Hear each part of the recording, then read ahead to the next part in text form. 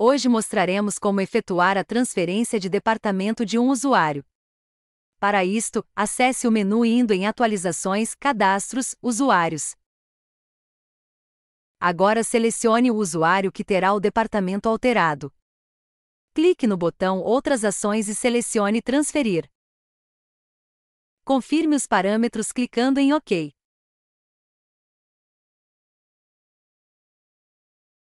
No canto superior direito selecione Filial Departamento.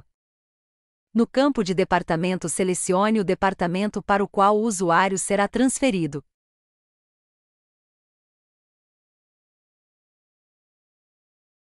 Clique no botão Confirmar. O sistema processará a alteração de departamento considerando todos os documentos vinculados ao usuário.